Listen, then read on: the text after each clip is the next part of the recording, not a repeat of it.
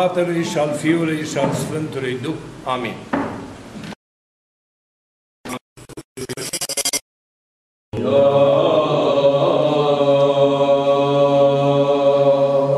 În numele Tatălui și al Fiului și al Sfântului Duh.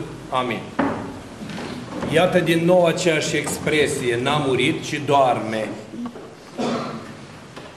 Celebrele imaginea celor trei învieri, fiul văduvei din Nain, fica lui Iair și dreptul Lazar, acel uh, frate al Martei și Maria, sunt semnul categoric care ne arată că Dumnezeu este stăpânul morții și al vieții. În Evanghelia de astăzi, așa cum ați fost obișnuiți, sau poate cum suntem obișnuiți, ați așteptat să repetăm din nou textul Evangheliei sau ați așteptat din nou aceleași, aceleași repere arătate de evangeliști, cum a venit și a fost rugat uh, Mântuitorul, cum s-a deplasat la casa lui Air, cum i-a spus fetei să se scoale, cum i s-a cerut să-i dea să mănânce, cum l-au luat în râs cei care erau de față zicând a murit de curând. Dar nu aceasta este esența Evangheliei, ci Evanghelia de astăzi vrea să scoată trei lucruri.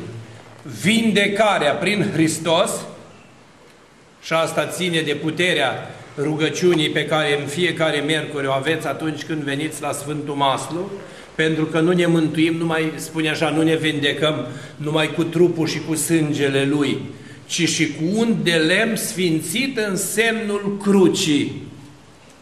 Iar dacă citim în Evanghelie, găsim diferite exprimări care au același punct. Mare e credința ta, deci trebuie în primul rând să fim curați, dar trebuie să fim curați ca Iisus Hristos, ca să putem primi harisma Duhului Sfânt, dar în același timp și necurați fiind, atunci când avem o suferință, trebuie să ne adresăm cu lui Hristos fără desfială. Deci nu poate un om să vindece pe alt om decât prin contribuția rugăciunii. Dar poate Hristos să-l vindece prin un om prin contribuția dragostii aproapelui. Că mult poate rugăciunea dreptului cea fierbinte, spune Scriptura. Și în altă parte de este cineva bolnav, să cheme preoții să se roage pentru el, să-l sfințească, cu, să lungă cu unde le-am sfințit. Sau același uh, dicton creștin pe care îl auzim foarte des când se spune datori suntem a ne ruga unii pentru alții. Deci, cel mai frumos. Datori suntem a ne ruga unii pentru alții. Și atunci chiar și când un monah intră în cinul monahal, la fel îl întreabă cum te cheamă frate și îi să și spune să te mântuiești în Domnul și să te rogi și pentru mine păcătosul. La Sfântul uh, Simeon, la cel nebun pentru Hristos, la un moment dat Caliopii pune această întrebare mântuit uh, Sfântului și ea fiind o femeie păcătoasă care se convertise de curând la curățenie și viață morală și zice cât de mult trebuie să te rogi ca să placi lui Dumnezeu? Sau cât de mult trebuie să ne rugăm ca Dumnezeu să ne asculte sau să asculte rugăciunea noastră? Și atunci Sfântul îi spune cel mai frumos lucru – Dumnezeu nu are nevoie de rugăciunile credincioșilor.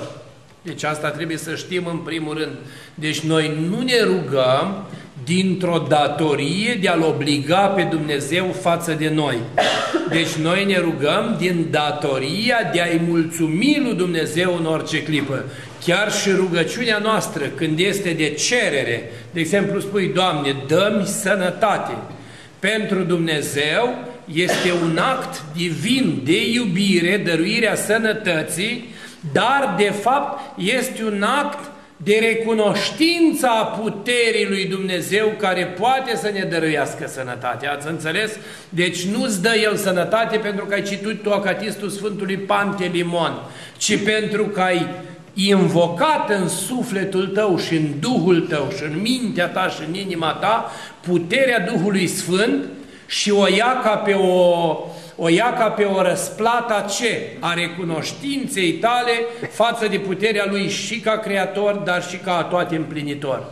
Și spune mai departe, Dumnezeu îi lasă pe creștini să se roage, ca să le verifice, să le verifice dragostea între ei, Deci dacă tu iubești pe cineva, nu te gândești la el, nu ne referim la sensul mizerabil al iubirii. Ai o mamă și în Italia la muncă, ai un băiat și la școală departe, ai un soț în deplasare la servici, ai o rudă în alt județ, în alt oraș, nu te gândești permanent la el. Când pui o lumânare în biserică, o aprins și pentru el. Uh, când faci o închinăciune seara, spui un Doamne ajută și pe cei pe care îi cunosc sau diferite moduri de exprimare simple sau complexe.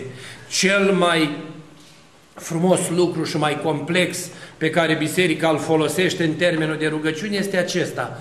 Doamne, mântuiește pe cei binecredincioși. Deci aceasta e rugăciunea cea mai scurtă și cea mai elocventă care arată că Dumnezeu ne mântuiește.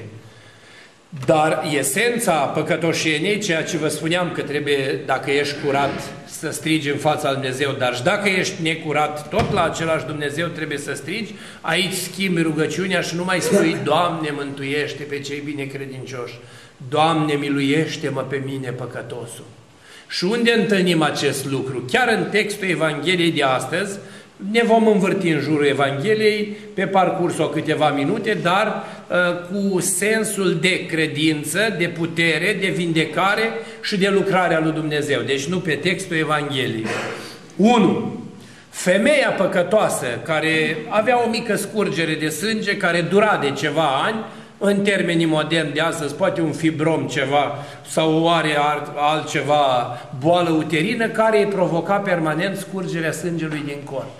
Și s-a dus cum era în vremea respectivă, dacă ați avut ocazia și ați citit cărți de medicină naturistă, pentru că nu era pe vremea aceea vitamina K și augmentin și antibiotice, deci erau leacuri, băbești, ierburi, ceaiuri, și au umblat din doctor în doctor, au umblat din vraci în vraci, au umblat din medic în medic. Termenul de medic în creștinătatea primelor trei secole nu vine de la medicul propriu-zis, chirurgul din spital sau internistul din spital, ci termenul de medic, cunoscător de leacuri și plante vindecătoare, dar nici termenul de vraci.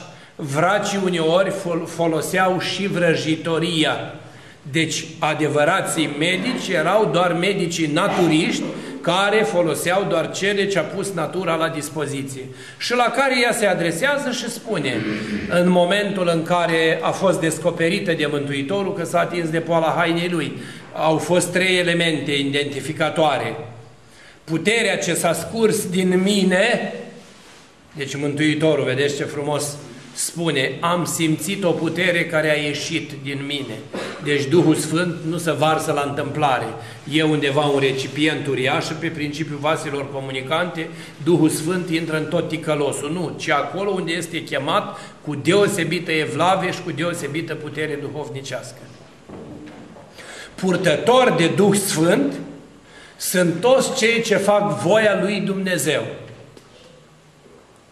În momentul în care noi vedem parabola de astăzi, aveam doar un simplu fel de purtători ai Duhului Sfânt, apostolii, dar care încă nu primise cele două chemări, pentru că știți că sunt trei chemări de purtarea Duhului Sfânt. Imediat după înviere, luați Duh Sfânt, cărora aveți legat, legate vor fi, cărora aveți ținea, ținute vor fi, legat de taina pocăinței, luați Duh Sfânt, mergând învățați toate neamurile, botezându-le numele Tatălui și a Fiului și a Sfântului Duh. Dar ultima, propriu-zisă și cea mai fundamentală, când a fost venirea Duhului Sfânt la cinzecime, când Duhul Sfânt a venit peste apostol, chiar în chip vizibil, în limbi ca de foc, și care i-a umplut de putere și cum spune și prin și lumea ai vânat iubitorile de oameni slavă ție. Deci apostolii în momentul când erau lângă Mântuitorul la împlinirea acestei minuni, erau doar niște pnehmatofori, purtători de Duh Sfânt. Deci ei vedeau minunile, trăiau, dar prin ce? Prin credință. Și de unde știm că Duhul Sfânt nu era în toate lucrători întrânși? Avem un element foarte bine definit. Când copilul lunatic a fost adus la apostol ca să-l vindece, tatăl copilului s-a adresat Mântuitorului foarte ironic și a spus ei nimic n-au putut să facă. Acesta este unul din motive, nu faptul că erau total necredincioși sau n-ar fi avut uh, în binecuvântarea lui Dumnezeu să facă minunea. Nu. Încă nu lucra Duhul Sfânt prin ei. Încă erau ucenici, erau în formare, mai aveau de învățat. Abia Mântuitorul Iisus Hristos vine și depistează necredința Tatălui, lipsa de asceză, lipsa de mistică, că se și adresează direct. Acest soi de draci este cu post și rugăciune. Asta e mistica și asceza. Deci n-aveam de-a face, deci nu aveam de-a face cu ce la vremea respectivă cu un iudeu care ținea legea veche. Deci era un iudeu care călca legea veche. Că și ei aveau postul marța să suisă sau lunea Moise în munte și joia se coborâse cu tablele legii. Și aveau și ei cele două zile de post pe care le cinsteau, aveau jertfa aducerii înainte și așa mai departe. Dar în momentul în care n-au putut să facă nimic, apostolii au vrut să întrebe pe Mântuitorul noi de ce n-am putut face aceasta, dar Mântuitorul de fapt ce făcea? Le arăta care este concordanța între ce? Între ceea ce învață Dumnezeu și ceea ce facem noi. Între datoria pe care o avem și obligația care o are Dumnezeu față de noi. Și spune mai departe Sfântul Simeon, mă întorc la discuția cu Caliopi, îi spune așa, Dumnezeu știe ce are de făcut, nu are nevoie de rugile noastre. Conform unui citat din Evanghelie care spune așa, voi când stați de vă rugați să ziceți așa, ziceți așa Tatăl nostru care ești în ceruri, pentru că voi nici nu știți ce vreți sau ce cereți, dar Tatăl vostru numai cât ați început să vă rugați sau v-ați gândit să vă rugați, El vă dă vouă cele ce aveți nevoie. Pentru că El fiind un tată bun, dă daruri bune fiilor săi. Că așa spune, ce tată poate să dea uh, piatră în loc de pâine și șarpe în loc de pește. E un termen, e o, e o Evanghelia Sfântului Marcu. De ce lucru acesta? Ca să înțelegem că în clipa în care ne-am pus să citim un acatist, nu este momentul foarte în care în clipa aceea s-a deschis o pâlnie și Duhul e deasupra ta și tot curge și tot curge și tot curge. Nu! Aceasta o, o regăsim în ce? În cei care stau acum în biserică aici, printre dânsii, printre noi, ar putea exista unul care zice așa, Părinte, știți, mi-ați dat niște rugăciuni. Nu le-am înțeles, dar să știți că le-am făcut. Dar mi s-a împlinit tot ce am vrut. Oare de ce? Pentru sinceritatea inimii. Pentru curățenia lăuntrică. Altul spune, Părinte, am făcut acele rugăciuni care mi le-ați dat, dar să știți că tot nu s-a rezolvat problema. Și atunci eu insist și spun, roagă-te. Și părinte, dar cât? Păi până să rezolvă. Ce vrea Dumnezeu să vadă prin aceasta până se rezolvă? Că tu nu ai fost un comerciant cu El, iar dacă ți-a reușit, continui ca un uh, negustor, hai să mai fac o rugăciune că poate mai îmi dă ceva, hai să mai fac o rugăciune că poate mai câștig ceva, hai să mai fac o rugăciune că poate mai îmi îndeplinește o dorință. Nu așa. Și de-mi dai și de nu-mi dai, la tine strig, înaintea ta vin, ție mă plec, pe tine te cunosc și în tine cred. Deci rugăciunea nu este scopul sau unitatea de legătură între suflet și Duh, între suflet și Dumnezeu. Dumnezeu are legătură cu noi prin botez, prin mirungere și prin Euharistie. Suntem în Hristos, ne-am botezat, în Hristos ne-am îmbrăcat. Dar prin rugăciune cunosc ca în ca într-un termometru. Așa cum mercurul când dă de căldură urcă, dar cantitatea e aceeași, și când este răcoare, el scade, dar cantitatea e aceeași, așa este și omul, el este același. Dar când se încălzește în rugăciune, harul umple și când este rece în rugăciune, harul scade sau pleacă. Și aici ce cunoaștem? Nimitnicia trupului și sufletului nostru prin ceea ce spune Scriptura. Duhul este râvnitor. Noi am vrea să facem totul bine și Apostolul Pavel și-a reproșat și a spus așa, sunt supărat că nu pot face binele pe care îl doresc, dar fac rău pe care nu îl doresc. Așa și noi, Trupul ne împinge la lene, la somn, la mâncare, la amânare, la nepăsare, la ură, la egoism, la invidie, la ambiție, la răzbunare, la ținerea mintea răului, la facerea rău aproape, la purtarea grijii altuia, la scormonirea necazului altuia și așa mai departe. Dar astea nu fac parte din plăcerea și voia lui Dumnezeu. Deci astea fac parte din voile noastre. În momentul în care femeia a venit în fața Mântuitorului cu banii cheltuiți, cu averea consumată, cu sufletul zdrobit, cu boala avansată, a venit cu ce? Cu credință. Deci, iată o nouă încărcătură spirituală pe care o aduce Hristos în Noul Testament față de Vechiul Testament. Dacă în Vechiul Testament veneai cu o căruță de păcate și cei din jur aruncau cu pietre și te omorau, acum vine Hristos cu credința și ce face prin credință? Două lucruri. Stăpânește pe cei ce vor să arunce cu piatra și le dă și lor o regulă de bază care ține de porunca întâia din lege. Și spune așa, cine este curat să arunce întâi cu piatra.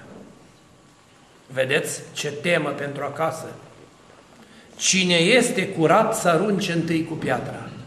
Deci vezi întâi păcatele tale și apoi ai grijă de păcatele altuia. Pentru că, de unde știm lucrul ăsta? Tot Mântuitorul Iisus Hristos continuă pe parcursul aceleași parabole cu femeia desfrânată ce trebuia ucisă pentru că a fost prinsă în adulter, să le scrie lor pe pământ păcatele în nisip, iar ei lăsau piatra și plecau și tot așa, și tot așa, și tot așa, generații de-a rândul până în ziua de astăzi, de 2000 de ani, sunt obligate să-și vadă păcatele lor și nu pe ale altora. Deci este o lege a iubirii și nu folosim cuvântul toleranță, pentru că noi nu tolerăm în biserică, iertăm. A iertării. Deci Hristos a venit în numele iertării. Și ce avea de făcut în clipa de față? Trebuia să ierte păcatele acelei femei cu scurgerea de sânge, lucru neconsemnat în Evanghelie, că i-ar fi spus uh, că i-ar fi spus iertate sunt păcatele tale. I-a spus, îndrăznește, fică. Deci ai curaj. Deci iată încă un lucru care lipsește în creștinism, curajul. Deci noi avem tot timpul tendința aceasta în ortodoxie să stăm așa parcă am împunge, cu capul în jos și să ne uităm în pământ. Și eu le-am spus de multe ori și la cei păcătoși și la cei vrednici. Și când greșești, tot în sus uită-te. Și când faci bine, tot în sus uită-te. Și când faci rău, tot în sus uită-te. De ce? Dacă mă uit în dreapta, mă văd vecinii.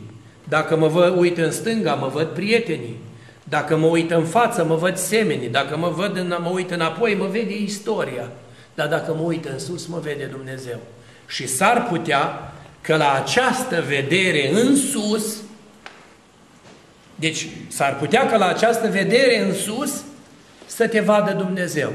Și unde o găsim aceasta consemnată? În Evanghelia care se va citi cândva prin postul mare, când spune așa, și uitându-se Iisus în sus, auzi, El vine din cer și uită în sus. L-a văzut pe Zaheu cocoțat într-un dut și a spus, dă-te jos că eu în casa ta trebuie să rămân. Nu i-a spus, tu ești un păcătos, hai să stăm de vorbă. Dă-te jos că eu în casa ta trebuie să rămân. Și ce a făcut în mod, în imediata uh, apropiere la această frază, la această logică a Mântuitorului. A început să se scuze din toate simțurile lui și să spună, Doamne, dacă am nedreptățit, întorc înapoi, dau jumate din avere la săraci, cui i-am făcut rău, întorc împătrit.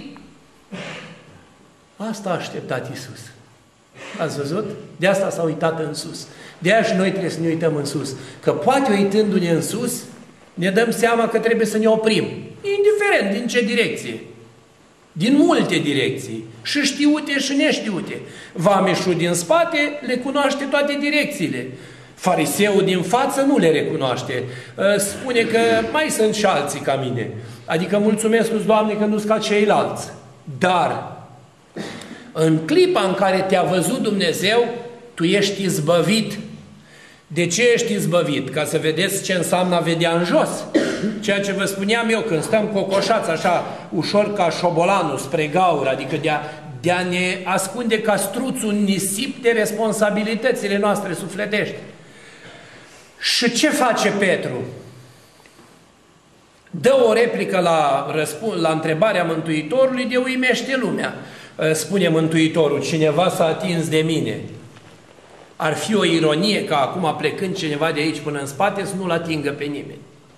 În aglomerație, când Mântuitorul era îmbulzit de mulțim și avem o singură mărturie.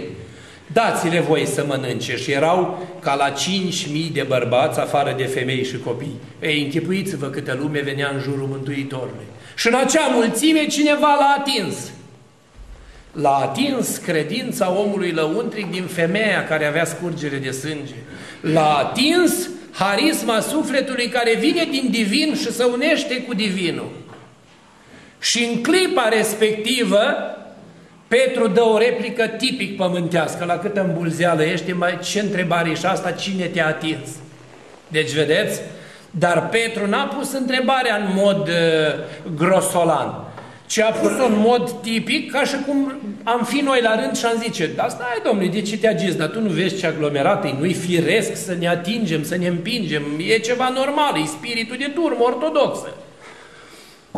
În momentul acela Mântuitorul de-abia s-a justificat Dumnezeu fiind și i-a demonstrat lui Petru că nu toate atingerile sunt de folos. Și aici, la acest capitol, am să vă dau următorul element pe care eu l-am pregătit ca să-l discutăm. 1. Atingerea de Sfintele Moaște. Ați văzut, vin oamenii cu miile din toată țara, căi București, căi Suceava, căi Iași, căi Craiova, căi Dimit Grigore de Capolitu, căi Calinic de la Cernica, căi Sfântul Mina, toată lumea trece cu baticul pe moaște, cu mâna, cu fruntea. Da, toți se ating. Dar rămâne de văzut ce? Legătura între har și credință. Unii se ating și înjură, unii se ating și se împing, unii se ating și se irită, unii se ating și se enervează, unii se ating și se îmbolnăvesc, unii se ating și nu se folosesc cu nimic, iar unii se ating ca așa-i tradiția. Dar unii se ating și se vindecă. Din toată mulțimea care era astăzi în jurul Mântuitorului Iisus Hristos în Evanghelie, o singură femeie a simțit vindecarea și a început să tremure din tot trupul și sufletul ei, după cum spune și psaltirea, slujiți Domnului cu frică și vă bucurați Lui cu cutremur. De ce? Ca să înțelegem că statul în biserică este o atingere de cerul lui Dumnezeu, că biserica spune Ceaslov, un postumare, în biserica slavei tale stând, în cer, mi se pare asta. Deci, în momentul în care a intrat în biserică între acești sfinți care vedeți în jurul nostru, noi trăim toată istoria Vechiului și Noului Testament deopotrivă. Și în momentul în care ne atingem de Sfântul de pe perete, care e acolo, uite, un fel de fotografie aurită și dată cu lac. Dacă credința ta e pură și curată, Sfântul ăla te tămăduiește. Și așa se întâmplă uneori că dintr-un sfânt izvorăște mir, că dintr-o icoană curg lacrimi, că dintr-o moaște apare o, o vindecare și așa mai departe. Deci, iată, asta a vrut să scoată Mântuitorul în evidență. Am simțit că a ieșit o putere din mine. Din noi trebuie să iasă rău când ne atingem. Și de ce vrem să iasă rău? Pentru că este boala sufletului. De aia când te duci la Sfintele Moaște trebuie să fii și mai bun, și mai blând, și mai răbdător, și mai calm, și mai echilibrat. Și când te împărtășești că e atingere direct de Hristos, și când iei Sfintele Taine, și când iei aghiazma, sau vă dau o pildă, câtă lume nu se atinge la Sfântul Maslu, de veșmintele preoților și de unde lemnul sfințit, dar cât se vindecă? Câți au inimă curată și smerită? Unii se vindecă, unii nu se vindecă. Și atunci unii chiar spun, ei, am fost, dar la ce mi-a folosit? Pedagogic nu ți-a folosit. Sufletește, te va deștepta cândva. Te va deștepta atunci când ne vei auzi că în jurul tău, în altul, zice, am fost și mi-a folosit. Și că nu știu cum ți-a folosit ție, că eu mă duc de atâta vreme și n-am simțit nimic. Păi n-ai simțit că scopul tău de a fi la Dumnezeu și la biserică. Este de a fi preocupat de cu totul alte probleme decât cele din biserică. Nu predica, nu liturgia, nu concentrarea atenției, nu trezvia minții, ci cine a mai venit, cine a mai plecat, cine s-a mai spovedit, cine s-a mai împărtășit, cu ce s-a mai îmbrăcat, cu ce s-a mai vorbit, cine a mai cumpărat, cine a mai vândut. Deci mulțimile se îngrămădeau în jurul lui Isus, dar deodată a simțit că a ieșit o putere din el. Puterea iese în cel care trebuie să iasă. Și noi nu-l știm pe acela. Asta e taina pe care ortodoxia se bazează. Că noi facem rugăciuni de obște, dar nu știm cui folosesc. Noi facem rugăciuni împreună, dar nu știm cui zidesc. Spunea cineva, zice, mă simt uneori invidios când văd că alții au venit mai târziu la biserică, adică la o vârstă mai înaintată, și zice, parcă sunt mai folosiți ca mine care vin de atâta vreme. Depinde ce au urmărit în timpul acela care au venit. Că unii pot să meargă toată viața la biserică și să nu aibă folos. Sau unii pot să meargă o singură dată și să se mântuiască. Așa este și cu atingerea aceasta din Evanghelia de astăzi. Femeia aceea auzise de Hristos, a venit cu toată credința și s-a atins de El. Și voi, dacă ați venit la biserică, atingeți-vă cu toată credința de El. Ori în potir, ori în icoană, ori în cartea de rugăciune. Și ne întoarcem la fica lui Iair, că aici am rămas noi pe tema de astăzi. În momentul în care Mântuitorul a fost înștiințat că este bolnavă, a zăbovit sau a avut de străbătut o cale până la rabinul Iair, dar mai mult decât atât, a întâmpinat diferite obstacole de natură umană. Păi prea bolnavă, deja nu se folosea termenul de comă, cum îl folosim noi astăzi. Uh, zice că deja este în nesimțire, deci nu mai are vitalitate, deci deja ar trebui resuscitat, reanimat. Dar Mântuitorul a spus așa, n-a murit, doar. Și dacă vă uitați atenți pe parcursul Evangheliei, veți vedea că Mântuitorul, în momentul când a ajuns la casa lui Iair, așa cum pe femeia, țineți minte, așa cum pe femeia din mulțime a vindecat-o și a ridicat în slavă credința ei, că asta este în evidență, credința. Credința este actul suprem și eu consider că prin asta v-aș putea demonstra ce înseamnă credința. Să folosesc o întâmplare din Pateric. O bătrână avea un copil lunatic din ăsta așa și auzise că în pustia aschetică este un oarecare visarion care face minuni. Și a vrut să se ducă la el. S-a înștiințat din părinte în părinte unde are chilia lui și s-a pornit spre dânsul. Pe drum, pe cale, când mergea, s-a întâlnit chiar cu Ava Visarion. Și îl întreabă, zice, Știi, în pustie, așa pe unul visarion, care am auzit că face minuni și vindecă și tămăduiește, a, nu, ăla e un curvar, un ticălos, un nemernic, un, un nimenea, nu vă luați după prostii, vorbe goale și deșarte. Cu ce sunt echivalente acestea?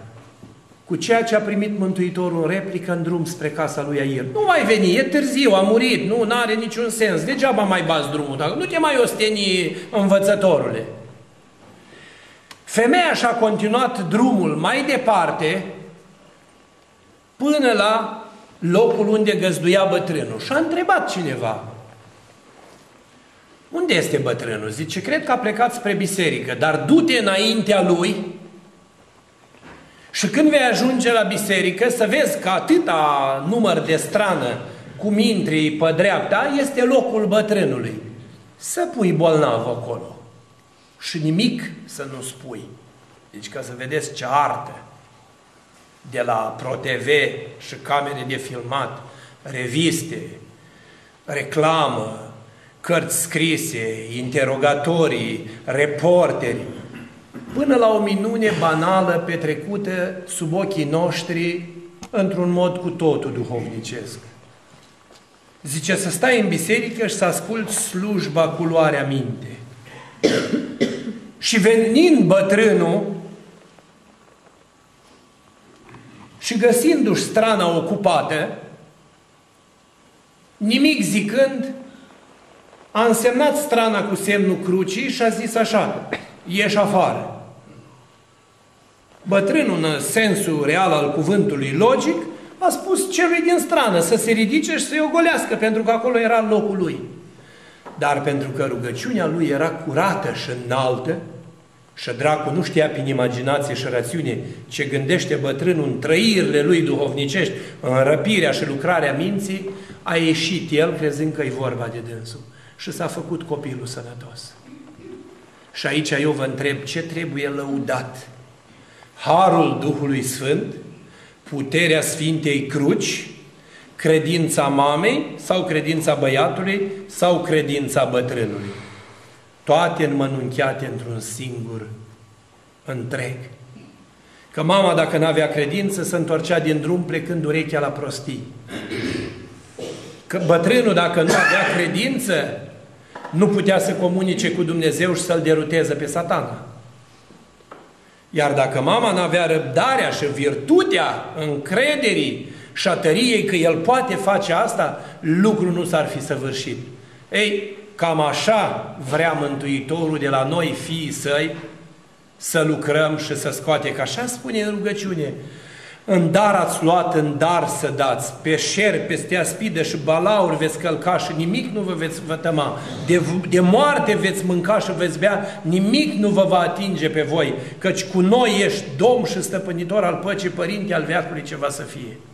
Cred unele distinse babe că dacă li se citește o oră sau două, dracu ar fugi mai profund nu are intensitate de fugă, să știți, el nu poate fi luat la cronometru. Nu fuge nici cu 8 secunde 50 de metri, nici cu 7 secunde, nici cu o oră pe kilometru, nici cu nimic. El iese prin cuvânt.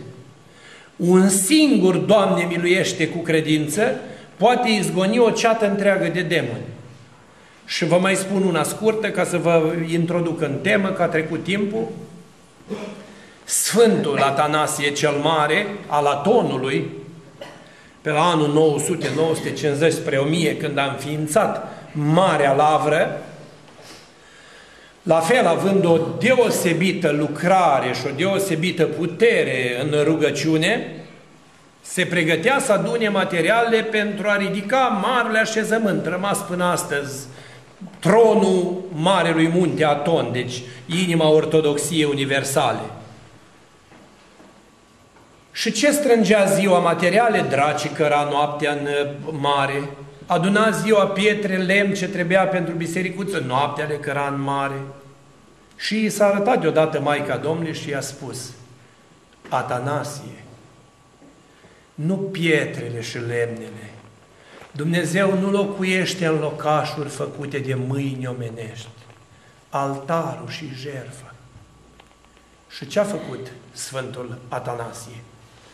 a clădit în pripă de dimineață în răsăritul soarelui un altar, adică o sfântă masă, o piatră de jertfă, a făcut rapid niște păreți în împrejurime foarte mici, există acea mini-bisericuță care e ca o colibă mică, i-a pus lespes pe acoperiș, că acolo nu spune crent și tablă să le ia vântul când suflă cu 200 de km la oră din mare, iar la miezul nopții fix, când hoardele de draci veneau să pustiască uh, locul și să arunce totul mare, a dat binecuvântarea de liturghie. Binecuvântată este împărăția Tatălui și a Fiului și a Sfântului Duh.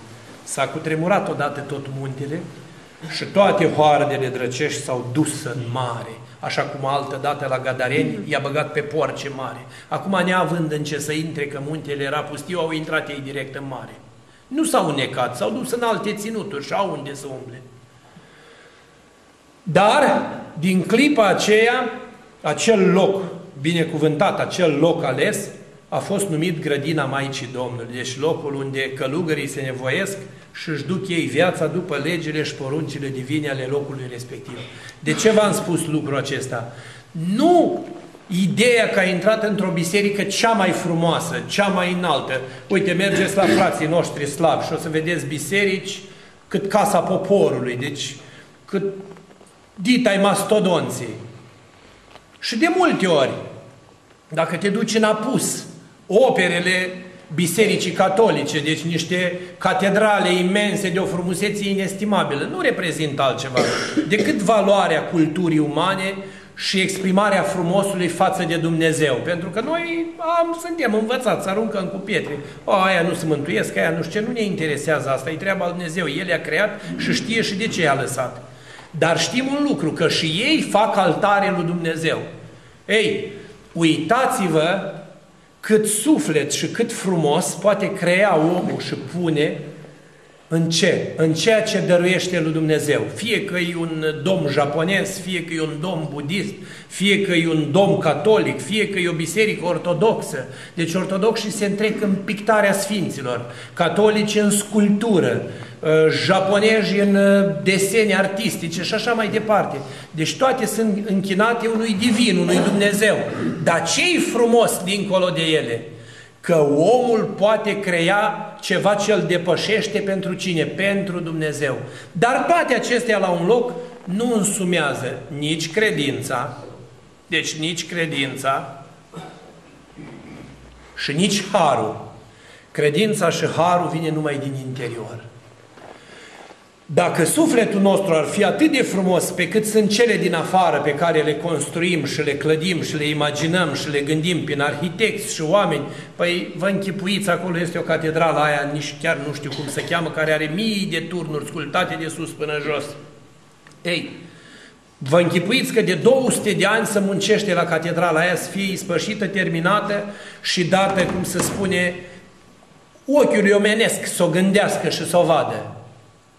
Dar tot ce e acolo se stinge ca fumul și ca aburul și ca iarba în fața unui gest nobil și banal pe care o beată babă cocoșată, pe care nu dai doi scuipați, îmblă cu secerea sub soară, cu un țolic pe care îl punea sub genunchi când făcea rugăciune și mergând și ea la o sfințire de catedrală, a văzut doi boi plini de spume și obosiți la jug, a luat o găleată, le-a dat câte o găleată de apă, le-a secerat câte un braț de iarbă, l-a pus sub nasul lor și apoi s-a dus cu minte să asculte slujba de sfințire. Iar în momentul când se face inaugurarea pietrei de sfințire și să scriu acolo titorii și cine a făcut respectiva lucrare, îngerul venise în taină și în ascuns să scrie cu degetul, cu litere de foc și de aur dumnezesc, următorul lucru. Această cheltuială și zidirea acestui sfânt locaș s-a făcut cu toată credința și evlavia și osteniala văduvei Anastasia Toader Frunze, despre care nu știa nimeni nimic. Cine era cel mai neînsemnat om din popor, despre care lumea nu dă bună ziua sau nu știe cine este? Dar împăratul care era om înțelept a spus, aici e o lucrare dumnezească. Și în Evanghelia de astăzi tot o lucrare dumnezească.